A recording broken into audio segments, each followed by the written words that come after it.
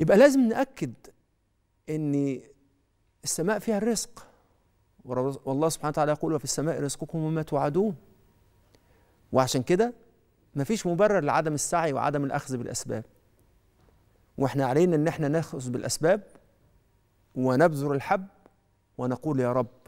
والنتيجة بإيد الله سبحانه وتعالى. وعشان كده حضرة النبي صلى الله عليه وسلم قال وهو بيتكلم عن الناس فمن قضيت له بحق مسلم فإنما قطعت له قطعة من النار فليأخذها أو ليتركها. وكأن قطعة النار دي مش موجودة في الآخرة بس دي كمان في الدنيا. إنك تكون بتحرق نفسك وبتحرق اللي فيك إن أنت منتظر فرصة. ما تنتظرش فرصة. ولذلك تعالوا نفكر مع بعض إزاي نتخلص من هذا الوباء وباء انتظار الفرص ده ووباء خوف فوات الفرص. الاثنين هما الاثنين أسوأ من بعض. لكن الاتزان هو إيه؟ السعي والنظر إلى فضل الله. هو ده الاتزان. السعي مع النظر. لكن إيه اللي إيه السيء بقى؟ الانتظار أو إيه؟ أو الانهيار. إنك تنهار أو إنك تنتظر. لا تفعل ده ولا ده. عليك إن أنت تسعى. ولذلك الكلام اللي قالوه أهلنا وناسنا كان كلام حلو قوي ان وهم بيتكلموا عن خطاب الله لقلوبنا اسعى يا عبد وأنا اسعى معاك. يعني إيه؟ هم قاصدين إيه؟ اسعى يا عبد وأنا أدبر لك أمرك. هم مش قصدهم إن ربنا يسعى يعني ربنا بيتحرك ابدا. هم بيقولوا إن ربنا بيدبر لنا أمورنا. يعني كلما سعيت كلما انكشفت عن قلبك الحجب فرأيت تدبير الله لك. اسعى. فإن الرزق في الطريق. اللهم أنت الصاحب في السفر الرزق في الطريق والسعادة في الطريق والنعم في الطريق. ما تخافش. ولذلك أول إجراء أنت لازم تستبصر. تستبصر في نعم الله اللي عندك. لازم كل يوم يبقى عندك من عشر دقايق لنص ساعة تفكر في نعم ربنا اللي عندك. اللي بدونها ما كنتش تقدر تعيش ولا تقدر تتحرك. والله سبحانه وتعالى يقول وإن تعدوا نعمة الله لا تحصوها. يبقى أنت إيه اللي حاصل؟ هنا نفهم حاجة مهمة قوي إن ربنا ما, ما طلبش مش إن هو ما طلب بيمنعنا من إن إحنا نعد نعم ربنا لا إحنا نعد نعم ربنا عشان نغرق فيها. يعني إيه؟ يبقى أنا أنظر في نعم الله سبحانه وتعالى ودوت جزء من مفهوم قوله تعالى بل الإنسان على نفسه بصيرة بص في نعم ربنا عليك. يا شخص يا اللي أنت خايف من فوات الفرص شوف ربنا كم رزقك من نعم.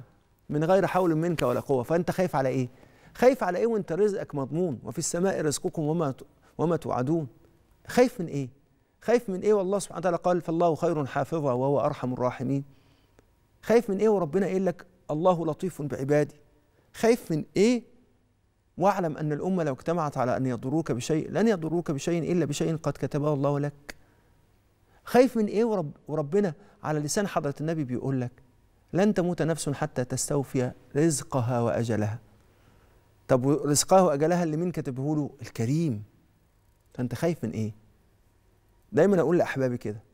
لو أنت خايف من فوات الفرص والله لو كل الفرص اللي ربنا خلقها فاتت ربنا هيخلق لك فرص تاني لأنه كريم. ما تخافش. مفيش مفيش حاجة تفوت. مفيش حاجة تفوتك واعلم أن الذي أصابك ما كان ليخطئك. والذي أخطأك ما كان ليصيبك. مش هتعمل. خلصت. وعلى فكرة جفت الأقلام وطويت الصحف. ولذلك إيه اللي حاصل؟ كل اللي أنت تعمله إن أنت تاخد من مدد الله الذي غمرك به اللي هي النعم التي لا تعد ولا تحصى نور وبركة تبص بيها في حياتك. ولذلك انظر واستبصر في في داخلك. ولذلك لازم تعمل ده. لازم يبقى عندك من عشر دقائق لنص ساعة كل يوم. تبص في النعم اللي عندك. خلي ده يا سيدي إيه؟ خلي دي تفتح باب إيه؟ باب النور على بصيرتك. وتقول لنفسك كده. يعني بعد ما تعمل النص ساعة دي العشر دقائق والنص ساعة تقول دي كده. يا كريم يا ودود ما كنت لتنعم علي بكل هذه النعم؟ وتعلقني بنعمك وتعلقني بفضلك ثم تمنعني حسن ما عندك لسوء ما عنده. فوعزتك وجلالك وكرمك إني لا أحسن الظن فيك بأنك لن تقطع عني مددك وأنك لن تمنع عني سعدك.